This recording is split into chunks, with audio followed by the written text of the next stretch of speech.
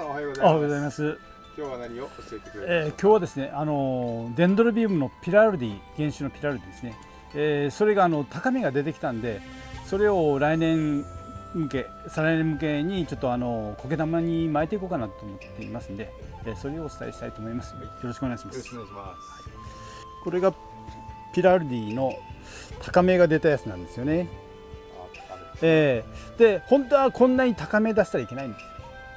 秋にちょっと乾かしすぎたっていうのもあって花芽が飛んでしまったんですよね。でも逆に考えればあの苗作りにちょうどいいんで、はい、ちょっと待って花がつかない時に高めがつくそうですね。あの、えー、温度だったら秋にたあの花芽がつくんですけどその時乾燥とかあのガラガラにさしたりすると花芽がつかずに高めになったりするんですよね、はい、花花じゃなくてこの物体であの子孫を残そうとするのか。えー、もう花がついたやつはもうちょっと売れたんですけどこの高みがついたやつも結構あったんで、まあ、それはこの苗作りをしていこうかなと思っています。でこの高みがですねもうちょっと本当は成長させたらいいんですけど、まあ、これぐらいでもまあなんとかなるかなということでこれを取って、えーえー、苔に巻いていきます。じゃあまずは苔玉作りからですね。まずこれが苔水苔ですね。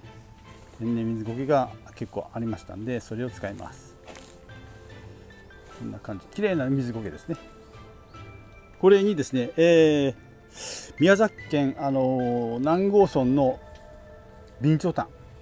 炭を入れます。こんな感じ、はい、これは根腐れ防止にもなるかなと思って入れます、はい、でこれを、えー、おにぎりみたいに包んでから黒糸で巻きます。まず端っこをですね、えー、持ってから親指でちょっと押さえます。押さえて一回くるっと回すとこれでもう止まりますんでそれからはあとはですね、えー、同じような方向に順繰りにあの巻いていきます。こういう形でくりくり巻いていきます。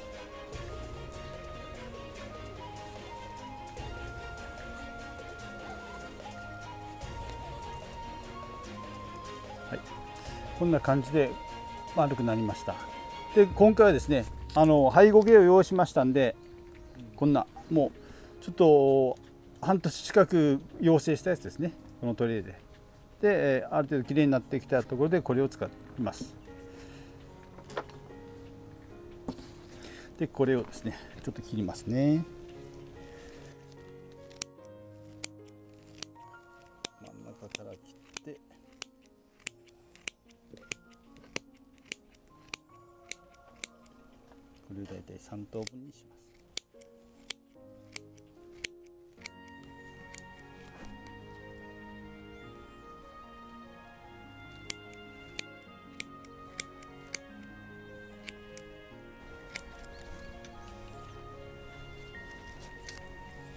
でこれぐらいのブロックを作ります、はい、ブロックを作ってこれにさっきの水苔を巻いていきます。えー、やっぱ苔玉にはですねこれが灰苔っていうんで灰苔が一番明るさにも強くて、えー、丈夫ですね。これに巻いていきます。頭からかぶせて。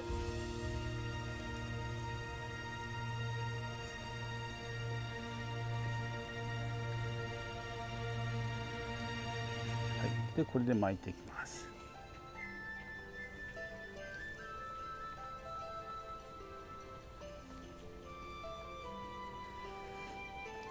去年から試験的にこう生苔でやってですねある程度こううまくいったんで、まあ、あの普通の乾燥水苔だけより生苔巻いた方がグリーンがきれいになるんで、まあ、今回はこれで作ってみますね。去年まではもう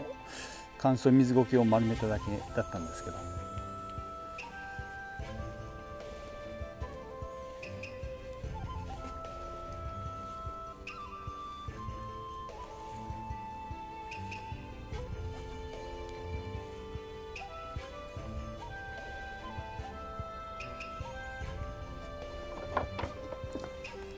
これで1回切って。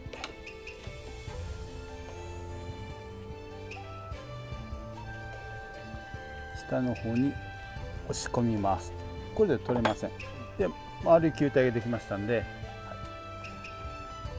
これをですねハサミでちょっと散髪してあげます。飛び出た葉っぱなんかをくるくるっと回しながら散髪してあるんですその方があの綺麗にあの揃いますんであの苔が綺麗に揃って綺麗になってきます。紐を紐大体きあの切らないようにちょっと慎重にですね。あんまり深くは切らないでいいですね。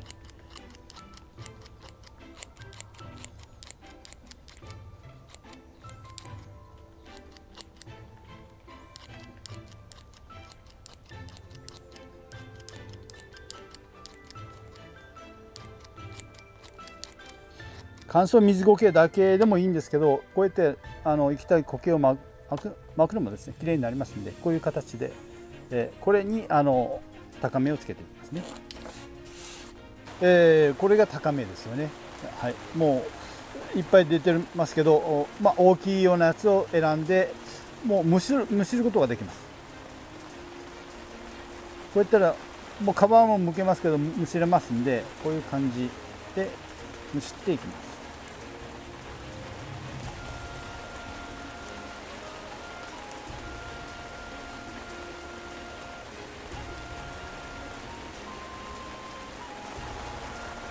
大きいようなところ選んで蒸します。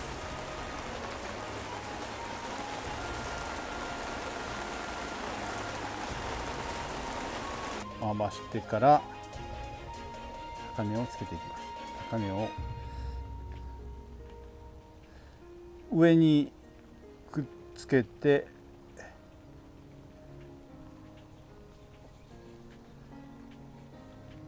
根を少し押さえます。を少し押さえます。もう2回ぐらい巻いたら固定できるんでこれでその横にまた、はい、1回2回ぐらいでこう根元を止めますね。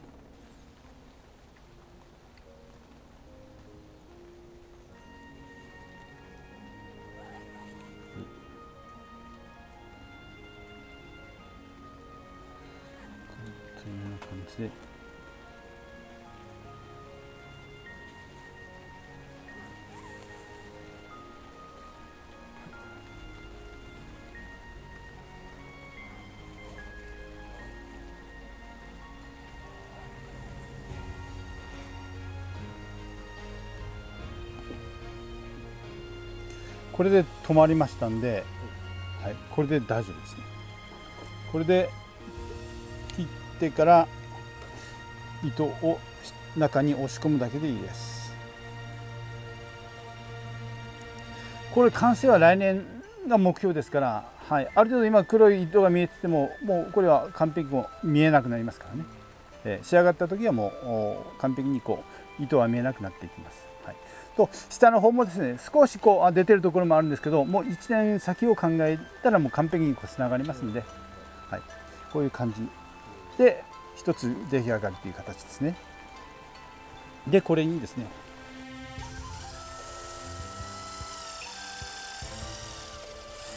さっきの炭があるんであの穴が開かない場合があるからこれに穴を開けて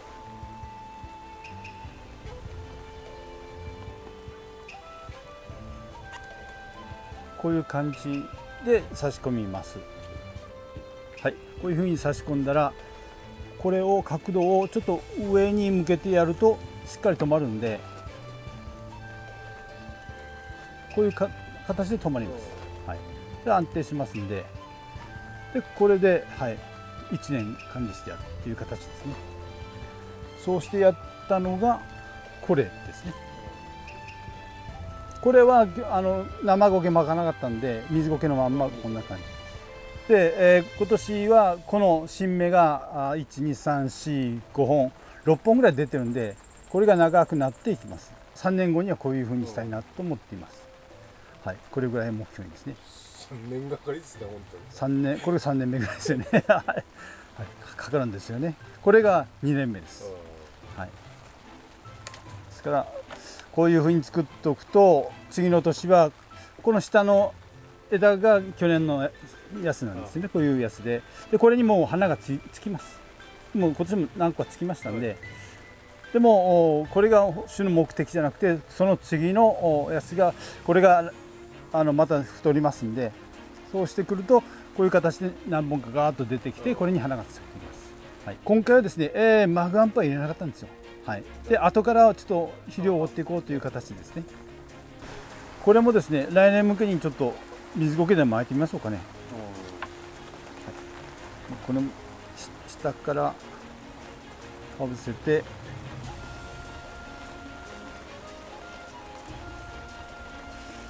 一回親指で押さえてくるっと重ねればですねこれで止まりますんであとはですねきれいに形成していきます。あとはですねこのお株元がちょっときれいにした方がいいんで株元はしっきりこう切ってあげます。芽を切らないようにちょっと慎重に。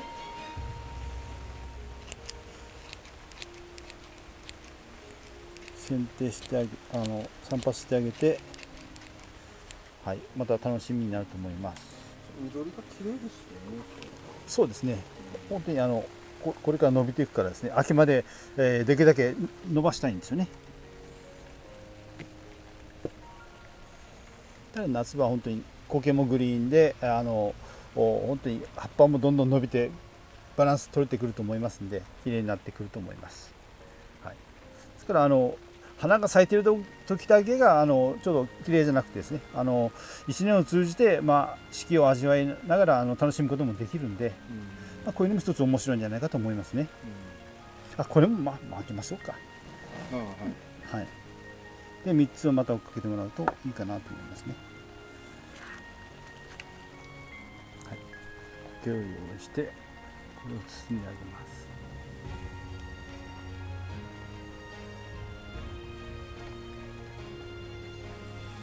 結構この生苔作りは去年一応試験的にこう見てみてですね、まあ、違和感なくこう綺麗に育ってくれたんで呼吸が乾いた時に水をやるというような形でもあの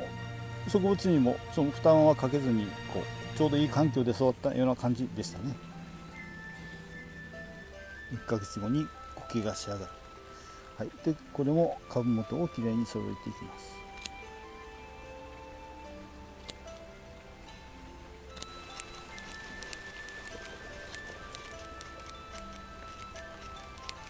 えーとですね、去年の枝は切らない方がいいですね。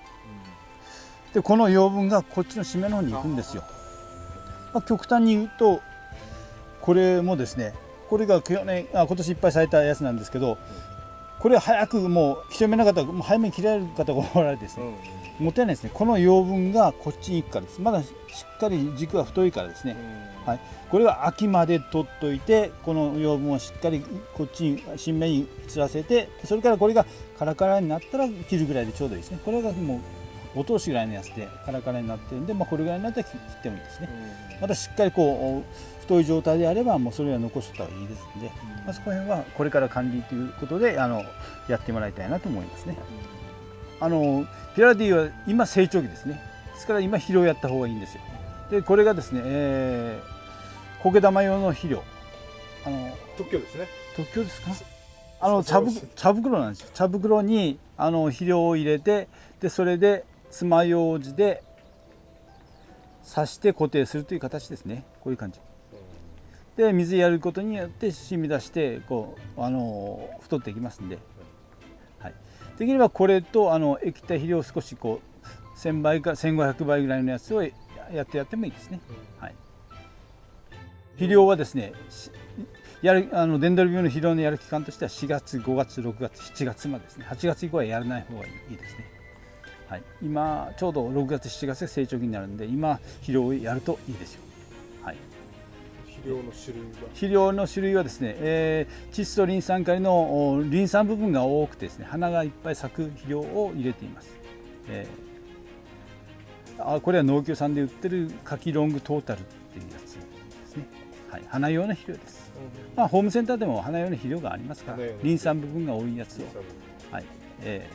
ー、この茶袋に入れてこうホチキスで留めて、えー、爪楊枝で刺すと苔玉から落ちませんので、まあ、そういったやり方もいいのじゃないかなと思っています。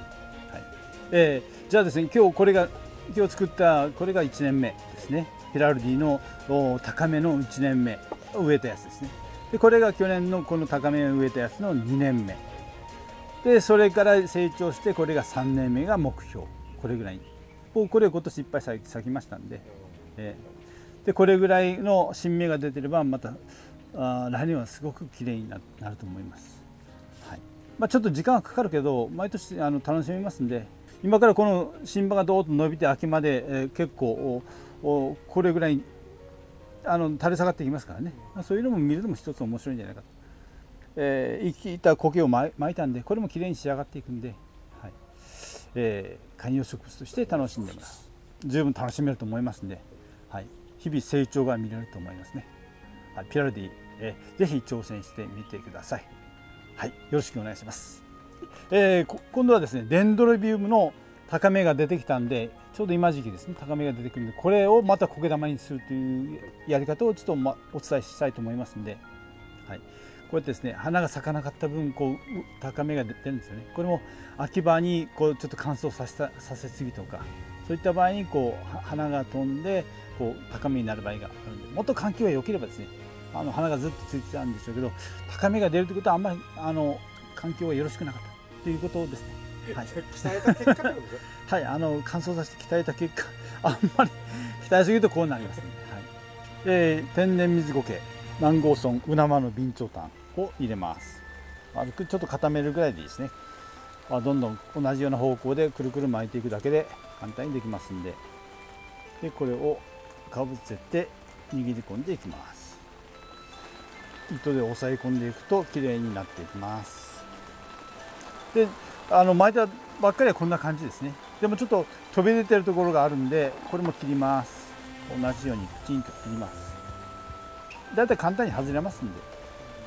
根っこが出てる方を苔の方に行きます。切った方じゃなくて根っこが出てる方を苔の方に持ってきますね。で、まあ、これも1回2回ぐらいで固定させていきます。苗作りの場合は基本はですねこれ1本を小さいポットに入れて植えるのが基本ですけどね。今回はこれ苔につけて、まあ、早く仕上げたいっていうのもあって、まあ、56本つけて、えー、来年再来年にはもう花を咲かせるような形にしたいなと思っています、はい、こういう作りをしてるのは日本で多分私だけかな。特許じゃないですか。いやいや特許っていうかあんな何本もつける必要ないのにとか いう形になるんじゃないかなと思うんですよね。大体あのこういう手のかかることはされないですよね。3年もかかる花がつくんで